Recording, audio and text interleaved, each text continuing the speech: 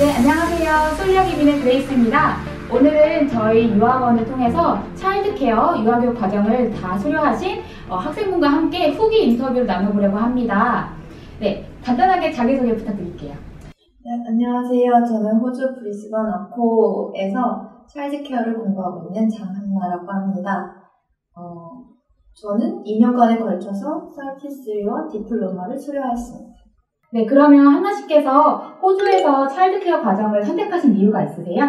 워킹 홀리데이로 먼저 호주를 오게 되었고 그 도중에 이제 공부를 할 수 있는 기회가 생겼어요. 그래서 원래 아이들을 좋아하기도 했고 이제 전문적으로 이 분야를 배워보고 싶다는 생각이 들어서 childcare를 네, 전공하게 되었습니다. 네, 그러면 아코에서 childcare 과정을 공부하실 때 어떤 장점이 있으셨어요? 어, 아코는 먼저 전문적이라는 생각이 들었어요. 이 학교를 선택한 이유가 오로지 차일드 케어만 트레이닝을 하고 있고 그래서 학교에 들어서면서부터 강의실 세팅이나 이제 정보 같은 것들이 다 차일드 케어 중심으로 되어 있어서 음, 학업에 집중하기 좋은 분위기였어요. 네, 그러면 같이 공부하셨던 학생들의 국적이라든지 아니면 남녀 비율은 어떻게 되셨어요? 어, 현재 디플로마 과정에는 영국, 케냐, 베트남, 남미에서 온 6명의 학생이 함께하고 있고요. 제가 다닌 2년 동안 어, 같이 공부한 남학생은 전부 2명밖에 없었어요. 그러니까 비율로 따지자면 거의 5% 미만으로 음. 엄청 적은 숫자죠. 음, 대부분 다 여사, 여학생분들이셨네요. 음, 혹시 그러면 학업하시면서 호주 학생들도 같이 학업을 좀 하셨어요? 어, 아니요. 어, 호주 학생들은 domestic 반으로 해서 음. 분류가 따로 되어 있어서 international 학생이랑 섞이지 않게 수업을 진행하고 있어요. 그러면 childcare 과정에서는 주로 어떤 것들을 배우셨어요? 어, child educator로서 이제 갖춰야 할 전문적인 지식이나 소양을 전반적으로 배우고 있고요.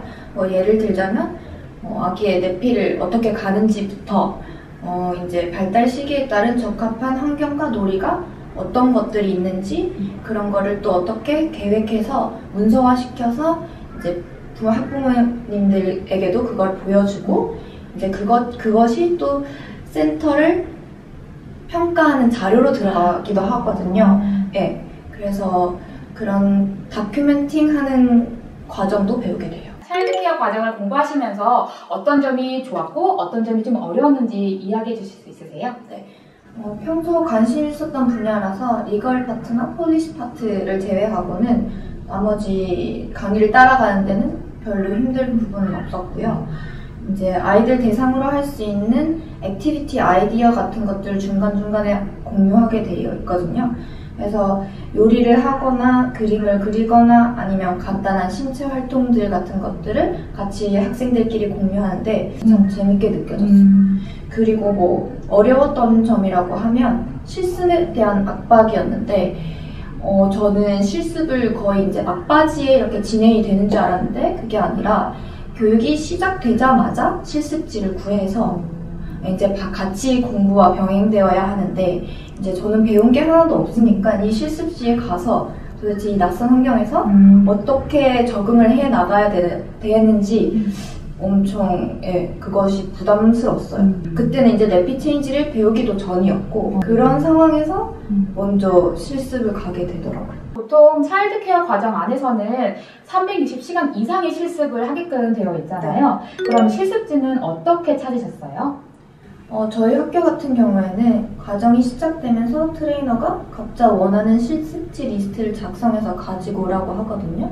그때 저는 이제 저희 집 주변에서 접근성이 좋은 그런 실습지를 위주로 한 다섯 군데를 적어 갔어요.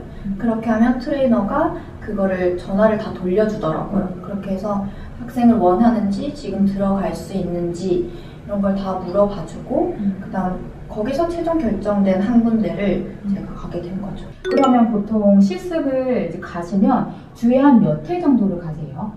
실습은 주 1회에 어, 8시간을 해야 되는데 저는 보통 8시에 출근을 해서 4시까지 하고 마치고 왔어요. 그래서 실습지에서 먼저 실습 전에 한번 방문을 해달라 하더라고요.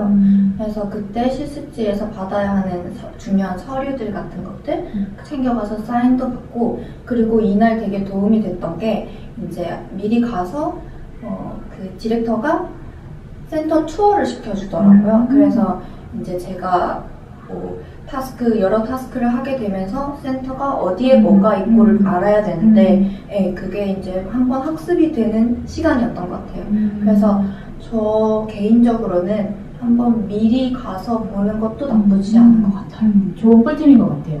음. 어, 한나 씨가 이제 실습을 하셨을 때는 주로 어떤 역할을 많이 하셨어요? 음, 이제 학생은 어쨌든 아직 qualification이 좀 이렇게 만족이 된 상황이 아니라서 어, educator 밑에서 supervising 된 상태로 모든 task를 하게 되어 있더라고요. 저는 음, 처음에 어떻게 해야 할지 몰라서 이제 다른 educator들이 어떻게 아이들을 돌보는지 뭐 그런 걸 좀 잘 봤던 것 같아요. 음. 그렇게 해서 도움이 필요한 시점에 그 뭐 아이들을 돌본다던가 아니면 식사 시간에 아이들 feeding하는 걸 좀 도와준다던가 네 그렇게 많이 했던 것 같아요. 네, 그러면 한나 씨는 지금 childcare 관련 일을 하고 계실까요? 어, 그럼 어떻게 구하셨어요? 저는 지금 casual educator로 일을 하고 있고요.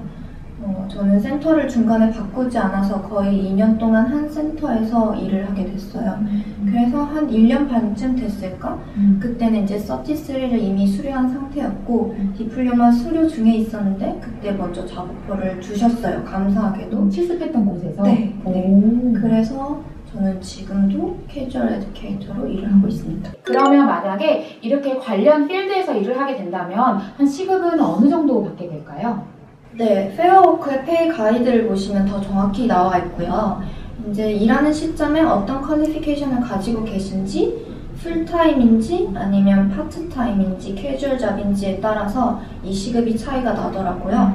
어, Cert three 수- 수료 후에 casual로 일하시게 되면 시급이 한 28불대 정도고요. 음. diploma를 수료한 뒤에 casual job으로 일을 하시면 대략 30불대로 알고 있어요. 꽤 높네요. 네. 네, 그러면 마지막으로 어, 한나 씨께서 생각했을 때 어떤 분들께 이 차일드케어 과정을 추천하실 것 같아요? 음, 공부하는 과정만 생각했을 때는 과제 양이나 출석 일수나 수업 내용 등 어렵지 않게 따라갈 수 있는데 이제 이 분야에서 일하는 걸 목표로 어, 공부를 시작하시는 분들은 정말 아이들과 소통하는 것이 즐거운지 또는 적성에 맞는지를 꼭 생각해 보셨으면 좋을 것 같고요.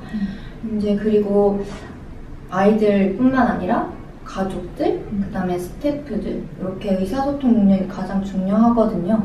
그래서 영어를 좀 수월하게 하시는 분이라면 더 예, 적응하는데 좋은 요건이 될 것 같아요. 네, 이상 오늘은 호주의 차일드케어 과정에 관해서 한번 알아봤고요. 어, 호주 유학에 관련해서 궁금하신 점 있으시다면 여기 플러싱으로 문의 주세요. 감사합니다.